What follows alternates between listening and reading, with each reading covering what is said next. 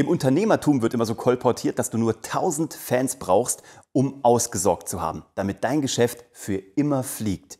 Aber wie baust du jetzt diese 1000 raving Fans auf, diese richtig heißen Fans, die auf alles Lust haben, was du anzubieten hast und die du auch immer zufriedenstellen kannst? Es gibt eine ganz einfache Möglichkeit dafür und die heißt Storytelling. Weißt du warum? Communities sind das, was du aufbauen willst. Und Communities ist das, was sich um eine Geschichte drumherum versammelt. Wenn du einen Tesla kaufst, dann kaufst du kein Auto, du wirst Teil einer Community. Wenn du dir ein Apple-Endgerät kaufst, dann kaufst du dir keinen Computer oder eine Smartwatch. Du kaufst dir ein Zugangsticket zu einer Community. Und diese Unternehmen, Apple, Tesla, aber auch andere, die sind Meister darin, gute Geschichten zu erzählen. Deswegen braucht Tesla zum Beispiel auch keine Fernsehspots, weil die einfach fantastisches Storytelling machen rund um ihren Gründer. Und mit Steve Jobs war das nicht anders. Wie kannst du das jetzt aber anwenden? Was ist die Geschichte, bei der Menschen bei dir ein Teil davon sein möchten? Wo kann man sich bei dir anschließen? Was ist der Mehrwert? Du hast zwar, sage ich mal, ein Spülmittel, ja? vielleicht ist das dein Produkt, aber was ist der Mehrwert für eine Community? Wie baust du da drum einen Stamm? Also Raving Fans. Und das ist ein ganz spannender ähm, Gedanke, den du mal überlegen solltest, weil wenn du dich damit beschäftigst mit diesem Thema Business Storytelling, dann ist die Frage, was erzählen sich denn Menschen gerade draußen über dich und dein Produkt?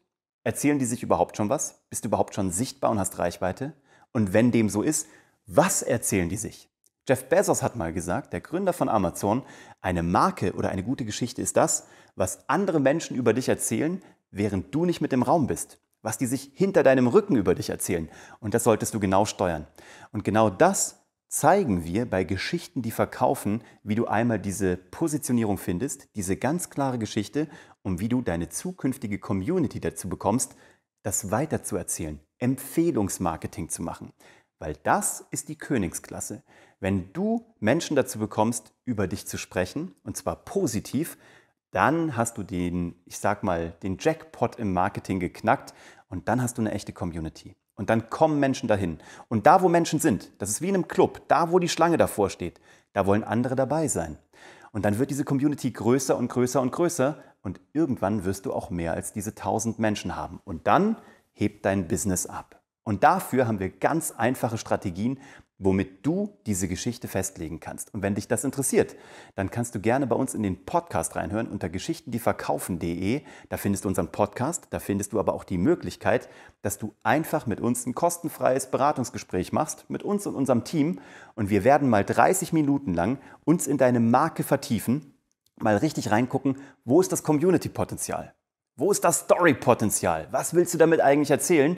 Und dann geben wir dir eine ganz klare Marschroute, wie du diese Geschichte nach draußen bringst und deine 1000 Fans und Follower findest, ohne die du in Zukunft gar nicht mehr leben möchtest. Also ich freue mich auf dich. Geh mal auf geschichtendieverkaufen.de, dann lernen wir uns kennen. Ich lerne deine Geschichte mal kennen und gemeinsam bringen wir die dahin, dass du zukünftig nur noch Erfolgsgeschichten erzählst. Und darauf freue ich mich sehr. Bis gleich.